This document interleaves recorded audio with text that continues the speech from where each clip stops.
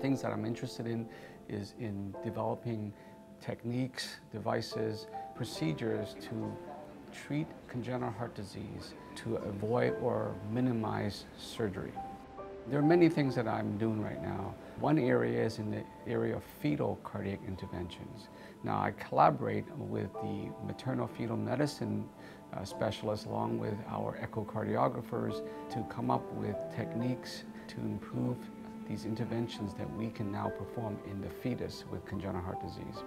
Of course, a lot of the supplies, the needles, the wires, the balloons, are not truly designed for the fetus. We find what's out there available in industry and adapt it to our use. And so some of our research involves around new designs, if you will, miniaturizing some of the, the systems that can be used in the fetus. Other areas of research uh, has to do with hybrid procedures. You know, I like to collaborate with our surgeons. Right now, there are several procedures we can do with the surgeons opening the chest and allowing us to get to the heart more directly. But rather than cutting into the heart, we can put needles directly into the heart and do some interventions that way. Again, many of the wires and balloons and catheters that are used are not designed for operations. They're designed to be used in the cath lab.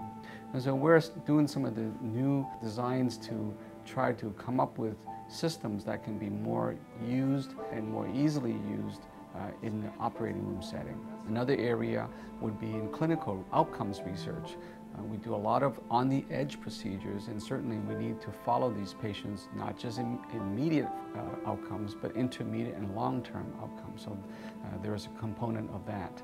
Another area would be in the area of partnering with industry. As a person who's been in the field for 20 years now, develop enough relationships with industry where uh, we are often asked to test out new devices and new catheters, new balloons, and we work with them in partnership to try to come up with the best design for our patient population.